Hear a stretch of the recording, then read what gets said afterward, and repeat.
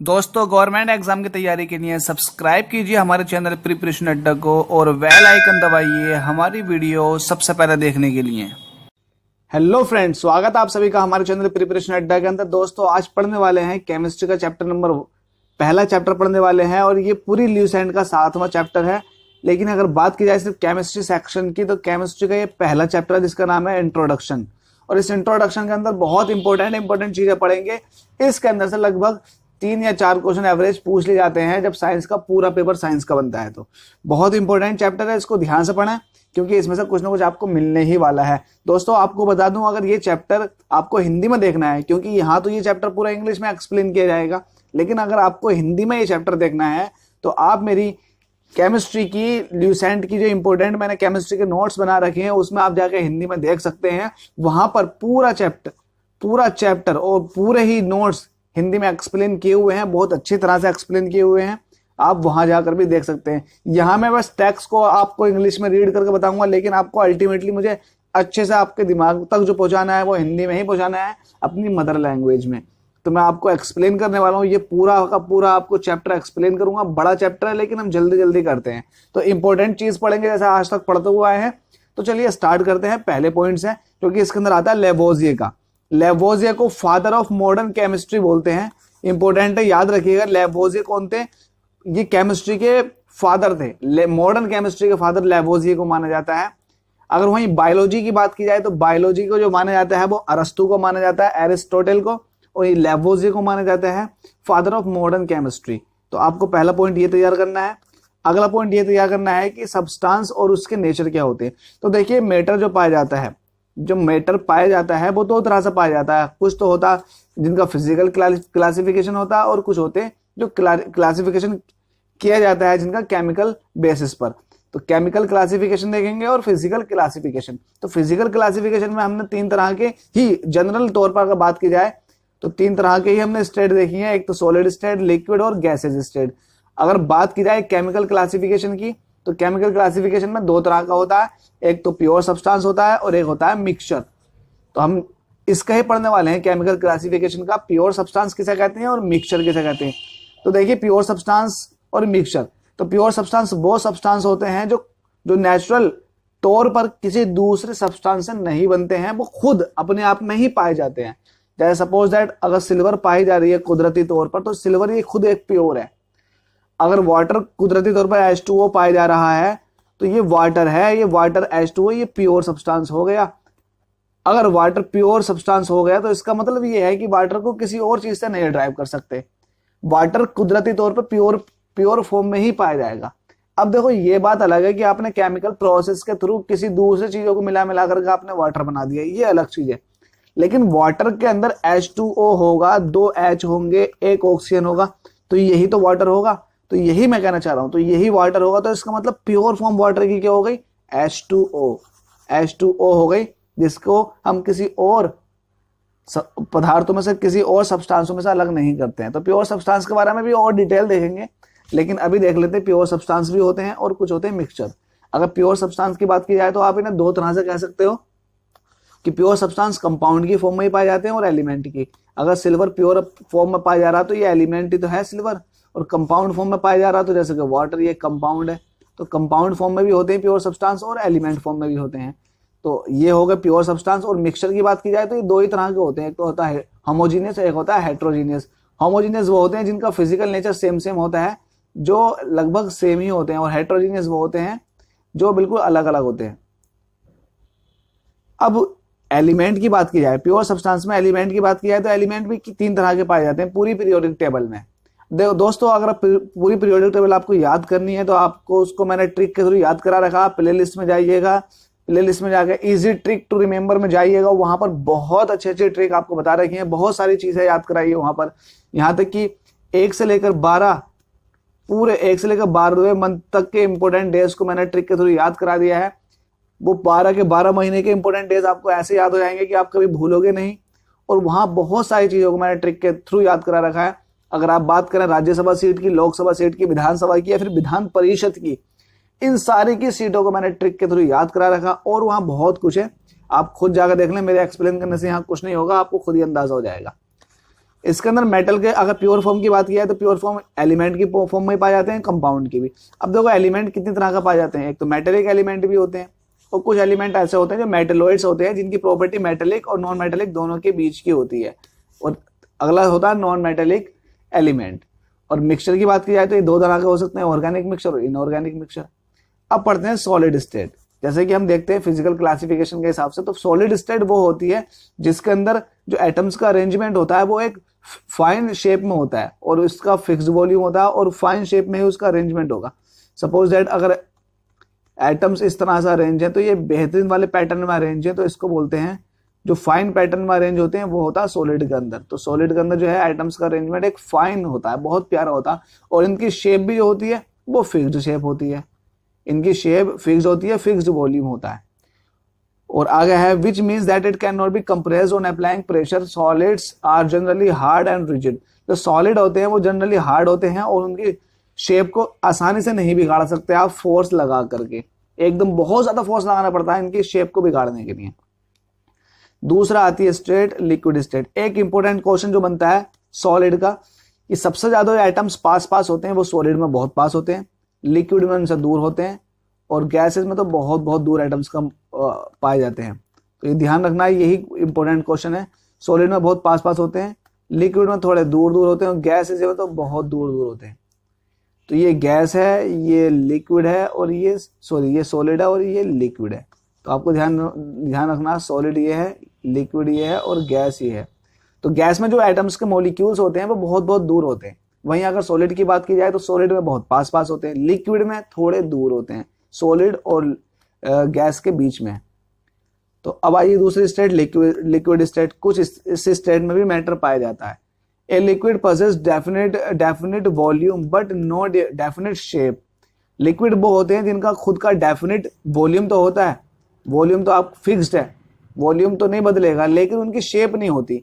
आप जिस तरह के बर्तन में उनको, जिस तरह के पोर्ट में उनको रखते हो, उसी की शेप को एक्सेप्ट कर लेते हैं तो वो होते हैं लिक्विड जैसे कि वाटर मिल्क ऑयल अल्कोहल ये सब हो गया। अब गैसेज स्टेट क्या होती है? गैसेज स्टेट का ना तो ना तो इनका डेफिनेट वॉल्यूम होता है और ना ही इनकी डेफिनेट शेप होती है। जिस जिस बंद पिटारे के अंदर रखते हो, उसी की शेप और उसी का वॉल्यूम ले लेते हैं।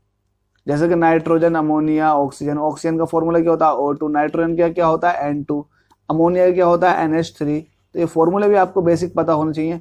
कार्बन डाइऑक्साइड का क्या होता है? सी ओ टू पूछा जा सकता।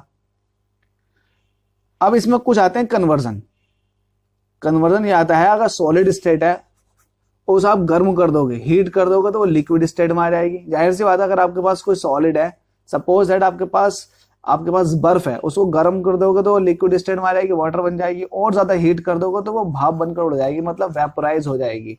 तो वेपर स्टेट स्टेट है तो वेपराइज हो जाएगी तो ये आप ध्यान रखें।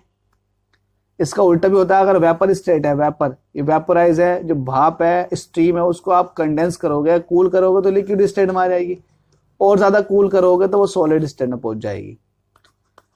अब आइस का मतलब सॉलिड को वाटर में वाटर को वेपर में वेपर को वाटर में वाटर को वाटर को आइस में, ये तो कन्वर्जन चलता रहता। तो इन कन्वर्जन को मैं थोड़ा बता देता हूँ। प्रोसेस बता देता हूँ। जब आइस अगर वाटर की बात की जाए और वाटर का आइस है आइस का जब वाटर बनाते हैं तो उसको बोलते हैं मेल्टिंग इसको बोलते हैं मेल्टिंग प्रोसेस और वाटर से जब वेपराइज वेपर बनती है तो इसको बोलते हैं वेपोराइजेशन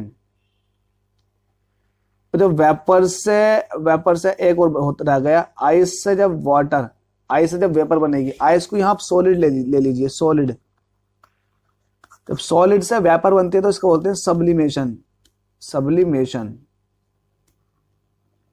अब इसका उल्टा लेते हैं। वेपर से बन गई सॉलिड तो जो जाएगा desublimation desublimation vapour से बन गया वाटर तो ये हो जाएगा कंडेंसेशन कंडेंसेशन वेपर से बन गए आइस वेपर से बन गए आइस वेपर से तो बन गया आइस तो उसको हो गया डी सब्लिमेशन वेपर से बन गया वाटर ये हो गया कंडेंसेशन अब वाटर से बना आइस तो वाटर से जब आइस बनता है तो उसको बोलते हैं फ्रीजिंग वाटर की जगह कोई और चीज़ सब्सटेंस यूज़ करते तो इसका नाम आता है सोलिडिफिकेशन सेम सेम है. सोलिडिफिकेशन करते हैं तो किसी और सब्सटेंस के लिए वाटर के लिए यूज़ कर रहे हैं हम, एक नई टर्म फ्रीजिंग ठीक है? तो अब आगे देखते हैं इसमें. इसके अंदर आती है प्योर सब्सटेंस की पहली कैटेगरी आती है एलिमेंट देखिए प्योर एलिमेंट तो मैं बता चुका हूँ तो प्योर एलिमेंट्स किन को बोलते हैं? प्योर सब्सटेंस किन को बोलते हैं? सब्सटेंस की बात कर रहे हैं तो इसके अंदर एलिमेंट भी आएँगे और कंपाउंड भी आएँगे। तो प्योर सब्सटेंस उनको बोलते हैं जो तो ना तो आ, किसी दूसरे एलिमेंट से बनाए जा सकते हैं ना वो दूसरे एलिमेंटों में टूट सकते हैं। तो ये एलिमेंट्स ऑफ़ कंपाउंड भी एलिमेंट भी होते हैं प्योर फॉर्म में और कंपाउंड भी पाए जाते हैं प्योर फॉर्म में। तो पहले देख लेते हैं एलिमेंटों को। तो ये एलिमेंटों की ऐसी सिंपलेस्ट फॉर्म है ये प्योर सब्सटेंस की ऐसी सिंपलेस्ट फॉर्म है जो ना तो टूटेगी अपने छोटे छोटे पार्टों में और ना ये छोटे छोटे पार्टों से इजिली या फिर इजिली या फिर सिंपल वे में ये इजिली ना तो बनाई जा सकती है केमिकल प्रोसेस से। तो आप समझ गए होंगे एलिमेंट क्या होता है? प्योर एलिमेंट की बात कर रहे हैं प्योर एलिमेंट ये प्योर एलिमेंट देखो सिल्वर है। ऐसा समझते हैं सिल्वर है। क्या आप सिल्वर को तोड़ दोगे? सिल्वर के आइटम को तोड़ोगे? जवाब है नहीं। सिल्वर के आइटम को तोड़ोगे तो बनाओगे क्या? कुछ नहीं बनेगा। अल्टीमेटली एक फ़िज़िकल और स्टेबल स्टेट में सिल्वर ही पाई जाएगी। तो ये सिल्वर का आइटम पाया जाएगा तो सिल्वर के आइटम से मिलकर सिल्वर पाई जाएगी। तो सिल्वर क्या हुआ? सिल्वर हुआ ये आइटम या फिर एलिमेंट तो ये एलिमेंट हो गया। तो ये एलिमेंट किस फॉर्म में पाया जा रहा? है प्योर फॉर्म में। तो ये एलिमेंट की प्योर फॉर्म हो गई। तो बस यही है। तो क्या ये एलिमेंट टूट सकता है? नहीं टूट सकता। क्या इस एलिमेंट को दूसरे एलिमेंटों से बनाया जा सकता? तो जवाब है नहीं बनाया जा सकता। आसानी से तो नहीं बनाया जा सकता। इजिली नहीं बनाया जा सकता ऑर्डिनरी वे में।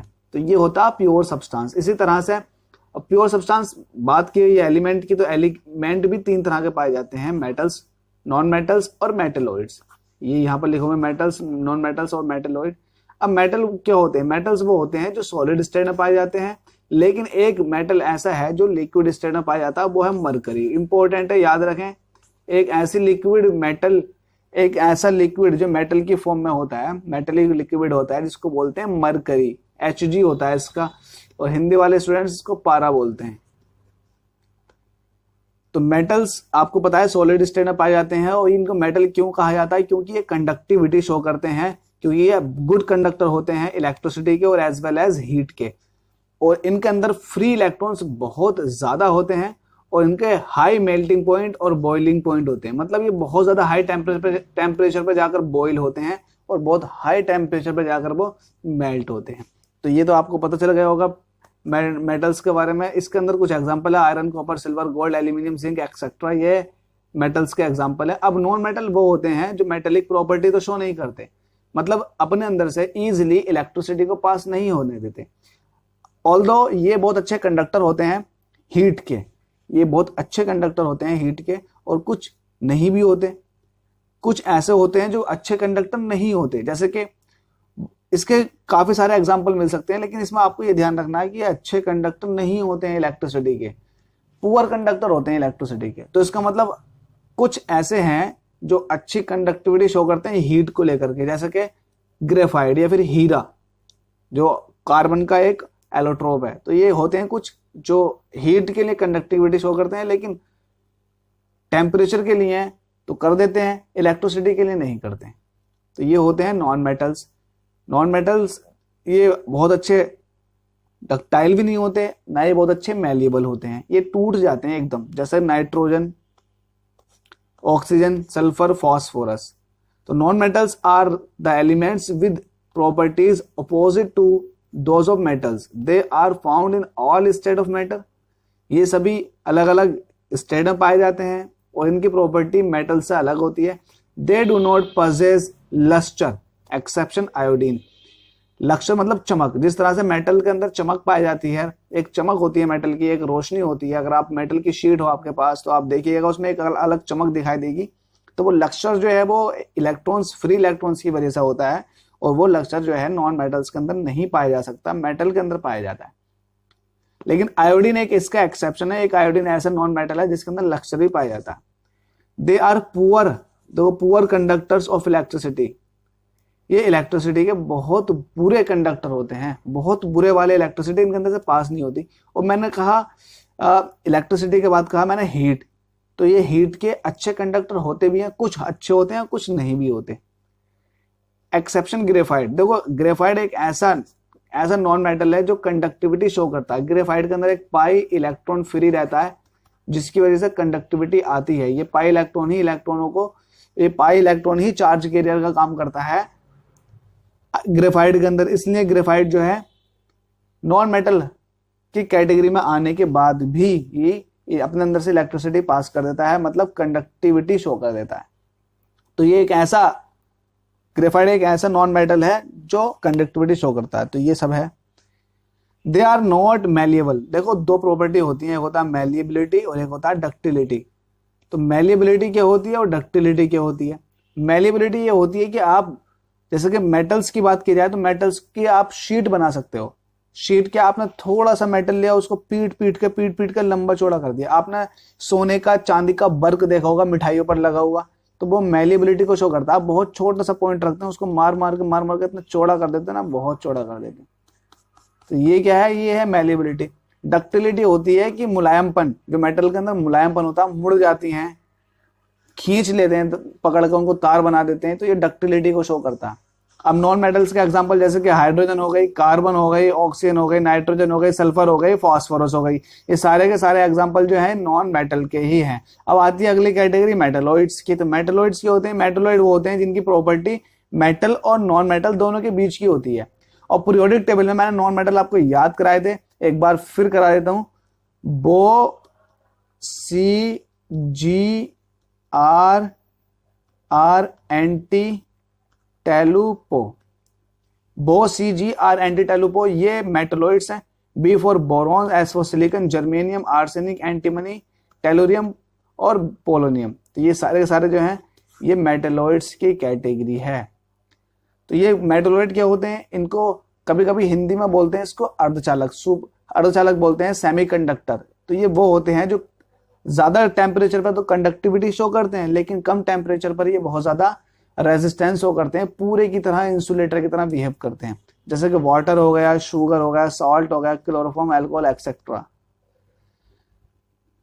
अब आता है कंपाउंड हमने प्योर फॉर्म देखी एलिमेंट की, अब प्योर फॉर्म देखेंगे कंपाउंड की। तो कंपाउंड भी दो तरह के होते हैं। एक होता है organic compounds second one is inorganic compounds in first one organic compounds the compounds obtained from living sources जो लिविंग सोर्स सब्सटेंस पैदा होते हैं, बनते हैं, मिलते हैं, उनको बोलते हैं ऑर्गेनिक सब्सटेंस ऑर्गेनिक का मतलब ही ये होता है कि living the term organic is now applied to hydrocarbon and their derivatives for example carbohydrates proteins oils fat etcetera are organic compounds hydrocarbon किसको बोलते हैं? हाइड्रोकार्बन देखिए हाइड्रो हाइड्रो बोलते हैं हाइड्रो मीन्स वाटर वाटर के कार्बन वाटर के carbon को बोलते हैं हाइड्रोकार्बन तो ये हाइड्रोकार्बन का फॉर्मूला हो गया। आप कोई सा भी हाइड्रोकार्बन बना सकते हैं इससे। प्रोटीन्स आपको पता है, ये भी हाइड्रोकार्बन होते हैं। सब के सब हाइड्रोकार्बन है।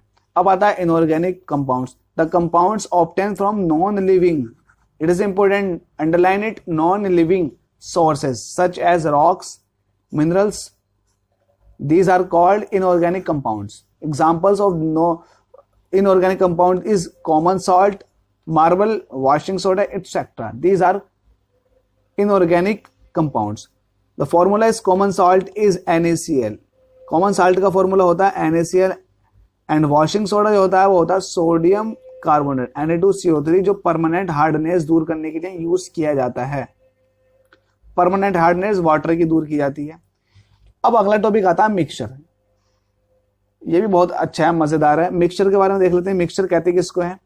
Actually a material obtained by mixing two or more substances in any indefinite proportion is called mixture mixture वो होता है जिसके अंदर आप दो से ज़्यादा, दो या दो से ज़्यादा अधिक मटेरियल को आप मिला देते हो that is called mixture the properties of the components in a mixture remains unchanged जो प्रॉपर्टीज़ होती है, एलिमेंटों की, जो आपने मिलाए हैं, वो एलिमेंटों जो खुद एलिमेंट मिले हुए हैं, जो पदार्थ मिले हुए हैं सब्सटेंस मिले हुए हैं, उन सब्सटेंस की प्रॉपर्टी चेंज नहीं होती है। Example is milk sea water petrol paint glass cement wood these are the common examples of mixtures milk is a mixture sea water is a mixture sea water के अंदर बहुत कुछ होता है। देखो मिल्क के अंदर वाटर तो होता ही होता है। साथ में फैट भी होती है। सी वाटर की बात किया है तो इसके अंदर बहुत ज़्यादा सॉल्ट होते हैं। चिली सॉल्ट पीटर होता है एनएससीएल होता है वाटर होता है पेट्रोल की बात किया है तो कार्बोहाइड्रेट होते हैं पेंट इन सब के अंदर क्या है मिक्सचर है, बहुत ज़्यादा। These are of two types homogeneous mixture and heterogeneous mixture अभी हम पढ़ रहे हैं कंपाउंड्स की कैटेगरी प्योर सब्सटेंस में हम कंपाउंड पाए तो कंपाउंड में अभी ऑर्गेनिक में ही चल रहे हैं। इनऑर्गेनिक पर नहीं पहुँचे ऑर्गेनिक कंपाउंड की बात कर रहे हैं तो ये हमारे पास जो होते हैं, दो तरह के होते हैं मिक्सचर इसमें हम मिक्सचर पे आए थे धीरे धीरे करते हुए। तो ऑर्गेनिक कंपाउंड इनऑर्गेनिक कंपाउंड अब आए थे मिक्सचर के ऊपर। तो मिक्सचर तो खैर दोनों ही होते हैं होमोजीनियस एंड हेट्रोजीनियस जो ऑर्गेनिक और इनऑर्गेनिक दोनों के ही तरह के हो सकते हैं। अब बात की जाए होमोजीनियस और हेट्रोजीनियस तो होमोजीनियस क्या होते हैं? A mixture is said to be homogeneous ये होमोजीनियस कोई भी मिक्सचर तब कहलाता है, जब it has uniform composition throughout throughout and there are no visible boundaries of separation between constituents वो मिक्सचर को आप होमोजीनियस मिक्सचर कहोगे, जो पूरा का पूरा मिक्सचर एक ऐसे लगे होल होल सेम लगे, पूरा का पूरा सेम लगे। जैसे कि आपके पास आपके पास वाटर है। वाटर क्या है? प्योर है। आप कहीं से भी निकालोगे, कहीं से भी वाटर को निकालोगे, खींचोगे तो वाटर क्या क्या नीचे का पानी अलग होगा?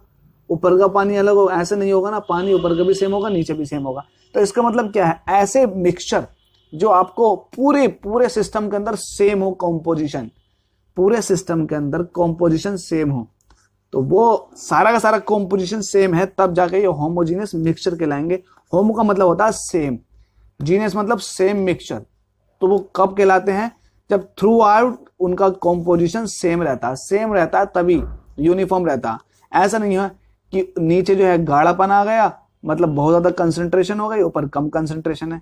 अब इस तरह से सेपरेशन बाउंड्री आ तो गई बीच में ये। तो फिर ये बीच वाली जो बाउंड्री कहलाएगी सेपरेशन बाउंड्री कहलाएगी। ऊपर वाला लो कंसंट्रेशन का हो गया, नीचे वाला हाई कंसंट्रेशन का। अगर ऐसा कोई मिक्सचर हो जाए तो बात कर रहा हूँ।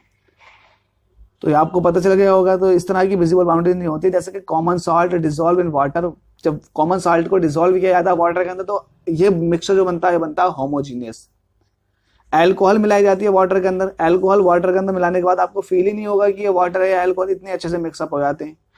तो ये सब इसके एग्ज़ाम्पल है।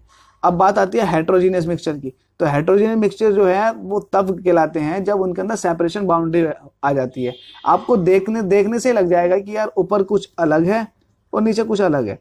आपने कुछ बहुत सारे तेल्स ऐसे होते हैं ऑयल्स ऐसे होते हैं कि आपने, जब उसके अंदर मिक्सचर मिला हुआ होता है कुछ इम्प्योरिटी होती है और आप एक दिन या दो दिन के लिए रख देते हैं तो नीचे कुछ गाढ़ा गाढ़ा काला काला सा पदार्थ दिखाई देता। जब इस तरह से आ जाए तो ये जो कहलाएगा होमोजीनियस नहीं कहलाएगा, ये कहलाएगा हेट्रोजीनियस क्यों? क्योंकि बीच में सेपरेशन बाउंड्री आ गई। जब बीच में सेपरेशन बाउंड्री आ चुकी है तो ये सेपरेशन बाउंड्री अलग कर रही है ऊपर वाले मिक्सचर को, ऊपर वाले सब्सटेंस को और नीचे वाले सब्सटेंस को दोनों को अलग कर रही है। तो ये कहलाएगा homogeneous mix non homogeneous mixture क्योंकि इसके अंदर दोनों अलग अलग तरह की अलग अलग तरह के सब्सटेंस दिखाई दे रहे हैं। नीचे कुछ और और ऊपर कुछ और। जब इस तरह की सेपरेशन बाउंड्री आ जाए तो कहलाता है ये हेट्रोजीनियस मिक्सचर इसके भी बहुत सारे एग्ज़ाम्पल है। इसके बहुत सारे एग्ज़ाम्पल जैसे कि मड को आप वाटर में डिजोल्व कर दीजिए। जब मड वाटर के अंदर डिजोल्व हो जाएगी तो क्या दिखाई देगा? शुरुआत में तो आपको लगेगा कि पूरा होमोजीनियस है। लेकिन अब अगर आप 20 मिनट के लिए रख दोगे तो मड नीचे बैठ जाएगी और ऊपर वाटर दिखाई देगा। तो ये क्या होगा, इसने नॉन होमोजीनियस बना दिया इस मिक्सचर को।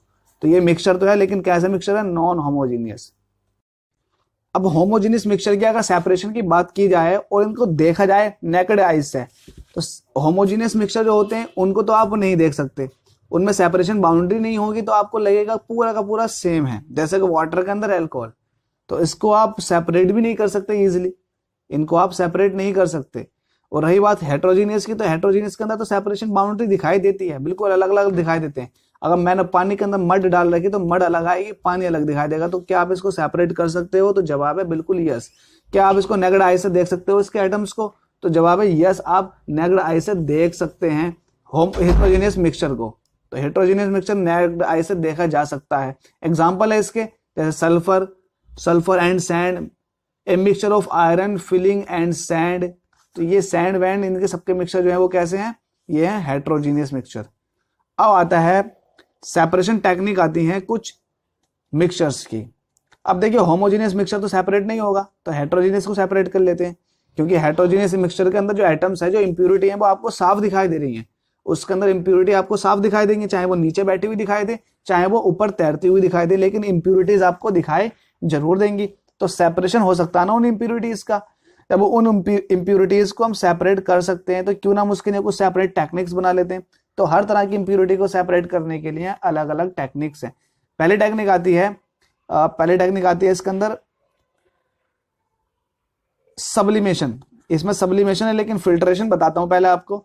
अब देखिए, जब सब्सटेंस के, जो सब्सटेंस उसको किसी मिक्सचर को हेट्रोजीनियस बना रहा है, उसका साइज़ बड़ा है आइटम्स का तो आप उसको फिल्ट्रेशन से भी दूर कर सकते हैं। अगर साइज़ इतना बड़ा है, अगर साइज़ इतना बड़ा है कि उसने कोलाइडल सॉल्यूशन बना दिया एक होता कोलाइडल सॉल्यूशन एक होता नॉन कोलाइडल सॉल्यूशन जिसको हम बोलते हैं सस्पेंशन देखो सस्पेंशन हुआ या फिर कोलाइडल सॉल्यूशन हुआ, ये दोनों के दोनों सॉल्यूशंस जो होते हैं मिक्सचर्स जो होते हैं, ये सॉल्यूशंस कहलाते हैं। और ये सॉल्यूशन जो है, ये हेट्रोजीनियस मिक्सचर बनाते हैं होमोजीनियस नहीं बनाते। क्यों? क्योंकि इनमें पार्टिकल का साइज़ देखा जा सकता है। अगर कोलाइडल की बात की जाए तो टेन टू पावर माइनस के सेवन सेंटीमीटर से भी ज़्यादा छोटा होता है। मतलब बहुत छोटा पार्टिकल का साइज़ होता है, लेकिन अगर फिल्ट्रेशन की बात की जाए या फिर दूसरे की बात की जाए, जिसके अंदर पार्टिकल का साइज़ बहुत बड़ा होता है। जैसे कि मैं आपको बता रहा था अभी सस्पेंशन के अंदर क्या होता है? सस्पेंशन के अंदर पार्टिकल का साइज़ कोलाइडल से बड़ा होता है। क्वेश्चन पूछा जाता सस्पेंशन में जो होता है पार्टिकल का साइज़ बड़ा होता है कोलाइडल के मुकाबले। तो सस्पेंशन भी, लेकिन अल्टीमेटली पार्टिकल्स तो है ना? हम वही चेक करना चाह रहे हैं कि पार्टिकल्स हैं जो हेट्रोजीनियस बना रहे हैं इसको। तो जवाब है यस तो सस्पेंशन भी हेट्रोजीनियस मिक्सचर है और कोलाइडल भी। लेकिन सस्पेंशन में पार्टिकल का साइज़ बड़ा होता कोलाइडल में छोटा होता तो इनको अलग अलग करने की भी अलग अलग टेक्निक है फिर। बस बात यहाँ थी, इसलिए मैं आपको समझा रहा था, इन दोनों को अलग अलग करने की अलग अलग टेक्निक्स हैं। सस्पेंशन जिसमें पार्टिकल का साइज़ बड़ा होता है तो इसको फिल्ट्रेशन के थ्रू अलग कर देते हैं। फिल्ट्रेशन के थ्रू बहुत आसानी से अलग किया जा सकता है, लेकिन कोलाइडल का कोलाइडल जो है इतना बड़ा होता, इतना छोटा होता है पार्टिकल का साइज़ कि जिस मेथड में हम सस्पेंशन लगाते हैं तो वो लगाते हैं फिल्ट्रेशन देखिए फिल्ट्रेशन में क्या होता है? फिल्ट्रेशन पहले आपको बता देता हूँ, आपके पास कोई पेपर होता है या आपके पास कोई ऐसा मटेरियल होता है, कपड़ा होता है, जिसके अंदर बहुत बारीक बारीक छेद होते हैं। और आपको कोई ऐसा मटेरियल दूर करना है, ऐसा होमोजीनियस हेट्रोजीनियस मिक्सचर को दूर करना है, जिसके अंदर पार्टिकल का साइज़ पार्टिकल का साइज़ बहुत ज़्यादा बहुत ज़्यादा बड़ा हो, जैसे कि सस्पेंशन के अंदर। तो इसके थ्रू इस जाली के थ्रू हम जो है उसको अलग कर सकते हैं आसानी से। तो इसलिए यूज़ होती है। तो जाली से तो अलग कर देंगे, लेकिन अब क्या है कोलाइडल के अंदर पार्टिकल का साइज़ तो और भी बहुत छोटा है। पार्टिकल का साइज़ है बहुत छोटा तो इन छिद्रों को अगर मैं जूम करके दिखाऊँ तो कुछ इस तरह से दिखाई देंगे। और पार्टिकल साइज़ इतना छोटा है छिद्रों में से। तो ये जो बोर है ना, इन बोर में से पार हो जाते हैं। इन बोर्स में से पार हो जाते हैं कोलाइडल के पार्टिकल्स तो इसलिए फिल्ट्रेशन मेथड फ्लॉप हो जाती है कोलाइडल पर आकर। तो कोलाइडल के लिए फिर दूसरी मेथड यूज़ करते हैं, वो है साइंटिफ्यूगेशन अब सब्लिमेशन देख लेते हैं। फिल्ट्रेशन तो हो गया आपका। This is the process for quick and complete removal of suspended solid particles from a liquid by passing the suspension through the filter paper example removal removed of the solid particles from engine oil in a car engine filtration of tea from tea leaves in the preparation of tea आप समझ गए होंगे, चाय की पत्ती जो होती है, वो अलग कर देती है, चाय से। वो कैसे अलग करते हैं? सब फिल्ट्रेशन मेथड से करते हैं। मतलब अच्छा है और सिंपल है ये बहुत ज़्यादा। सस्पेंशन ही एक ऐसा प्रोसेस है जिसके अंदर सॉलिड सॉलिड सॉलिड अब सब्लिमेशन की बात करें सॉरी सब्लिमेशन एक ऐसा प्रोसेस है, मैं आपको अभी पीछे बता चुका हूँ सब्लिमेशन क्या होता है, जिसमें सॉलिड सॉलिड सीधा गैसियस या फिर वेपर में कन्वर्ट हो जाता। तो वो कहलाता है सब्लिमेशन और डी सब्लिमेशन में उल्टा होता था। गैस या फिर सॉलिड जो, गैस या वेपर जो होती है, वो सीधे सॉलिड में कन्वर्ट हो रही थी। आगे देखते हैं फिल्ट्रेशन फिल्ट्रेशन में आपको बता चुका हूँ, पूरी तरह से अब नहीं बताऊँगा। इवेपोरेशन प्रोसेस क्या होता है, ये पीछे बता दिया। अब क्रिस्टलाइजेशन देखते हैं। This method is mostly use for the separation and purification of solid part solid substances in this process the impurity solid or mixture is heated with suitable solvent like as alcohol water acetone and chloroform to its boiling point and the hot so hot solution is filtered the clear filtered is cooled slowly to the room temperature when pure solid crystallizes out this is the separated by the filtration and dried crystallization क्या होता है actually आपको suppose that suppose that suppose that मैं आपको इस तरह समझाता हूँ देखो ये प्यूरिफिकेशन का मेथड है या फिर सेपरेशन का मेथड है सॉलिड सब्सटेंसेस का तो सॉलिड सब्सटेंसेस सपोज़ दैट दो ऐसे सॉलिड सब्सटेंसेस जो आपस में मिक्सअप हुए हैं। तो इनको क्या करते हैं शुरुआत में? हीट कर देते हैं। हीट करने से पूरा मिक्स हो जाता है। जब हीट करने पर दो, दोनों मिक्सअप हो जाते हैं अब इसको स्लोली कूल करते हैं। अब स्लोली कूल करने से क्या होता है? जो पार्टिकल्स दो, अब स्लोली स्लोली कूल करेंगे तो इनके अंदर से पहले गर्म करने पर जब इनको गर्म स्टार्ट करना किया था तो इनके अंदर से इम्प्योरिटी जो थी एक सब्सटेंस से दूसरे सब्सटेंस का जो इम्प्योरिटी मिली हुई थी, वो इम्प्योरिटी दूर हो जाएगी। जब इम्प्योरिटीज दूर हो चुकी हैं, अब उनको हमने ठंडा करके उसको छान लिया तो क्या होगा? अब छन, जो छना हुआ पदार्थ होगा मटेरियल होगा, वो हमारे पास प्योर फॉर्म में होगा। तो यह एक क्रिस्टलाइजेशन मेथड डिस्टिलेशन की बात की जाए तो डिस्टिलेशन उन पदार्थों के लिए या फिर उन सब्सटेंस के लिए किया जाता है, जिनके बॉइलिंग पॉइंट्स में डिफरेंस होता है। तो इस इस कंडीशन में क्या होता है? जिन जिन मटेरियल के बॉइलिंग पॉइंट में थोड़ा डिफरेंस होता है, उनको रखते हैं और उनको फिर बॉयल करते हैं। बॉयल करने से ये होता है, जिस मटेरियल का बॉइलिंग पॉइंट कम होता है, वो पहले ही बॉयल होने स्टार्ट हो जाता है और उसको कहीं अलग इकट्ठा कर लेते हैं। जब अलग इकट्ठा कर लिया तो इस प्रोसेस को कहते हैं डिस्टिलेशन डिस्टिलेशन बोलते हैं इस प्रोसेस को। एग्ज़ाम्पल है a mixture of copper sulphate and water और a mixture of water and methyl alcohol can be separated by this method इस मेथड से ही सेपरेट करते हैं। जो कम बॉइलिंग पॉइंट वाला होता है, वो यही रह जाता है और ज़्यादा बॉइलिंग पॉइंट वाला मतलब कम बॉइलिंग पॉइंट से मतलब ये है कि जो एकदम हीट पाने पर एकदम से निकलता हो तो वो तो निकल जाएगा। जिसका बॉइलिंग पॉइंट ज़्यादा, वो यहीं रह जाएगा। तो ये ऐसा होता है। फ्रैक्शनल डिस्टिलाइजेशन क्या कहते हैं? ये सिंपल डिस्टिलाइजेशन थोड़ा सा डिफर है। ये ऐसे मटेरियल के लिए यूज़ किया जाता है जिनके बॉइलिंग पॉइंट में थोड़ा सा डिफरेंस होता है। ऊपर वाला लगभग 25 परसेंट, पच्चीस डिग्री सेंटीग्रेड से ज़्यादा का डिफरेंस होगा तो ऊपर वाला सिंपल डिस्टिलेशन यूज़ करेंगे, लेकिन अगर 25 डिग्री सेंटीग्रेड से कम बॉइलिंग पॉइंट में डिफरेंस होगा तो करेंगे फ्रैक्शनल डिस्टिलेशन यूज़ आगे देखते हैं क्रोमेटोग्राफी तो क्रोमेटोग्राफी एक्चुअली ये किसी भी जो कलर होते हैं सपोज़ दैट इंक आपने किसी सॉल्यूशन में मिला दी। इंक को सेपरेट करने के लिए आपको कुछ इंपॉर्टेंट इंपॉर्टेंट मटेरियल यूज़ करने होते हैं उन मटेरियल को अगर आप इस इंक के सॉल्यूशन में डाल दो डाल दोगे तो पर्टिकुलर इंक के कलर को ही एब्जॉर्ब कर लेगी। तो एब्जॉर्ब करना मतलब सेपरेट करना। अब जिसने सेपरेट कर लिया, इसमें विदाउट इंक वाला सॉल्यूशन बचेगा। तो इस कंडीशन को या फिर इस पूरे प्रोसेस को बोलते हैं क्रोमेटोग्राफी ये क्रोमेटोग्राफी कई तरह की होती है, जैसे कि column chromatography thin layer chromatography, paper chromatography, high pressure liquid chromatography, ion exchange chromatography, gas chromatography. तो ये कई तरह की क्रोमेटोग्राफी होती है, इतना इंपॉर्टेंट नहीं है। सेडिमेंटेशन ये भी इतना खास इंपॉर्टेंट नहीं है। सेडिमेंटेशन क्या होता है, जो इनसोल्यूबल सॉलिड होते हैं, उनको अलग करना होता है। इनसोल्यूबल सॉलिड को अलग करना होता है। जैसे कि पानी के अंदर गाद है, गाद। गाद मतलब जो मिट्टी की गंदगी होती है, उसको अलग करते हैं तो ये सेडिमेंटेशन प्रोसेस कहलाता है।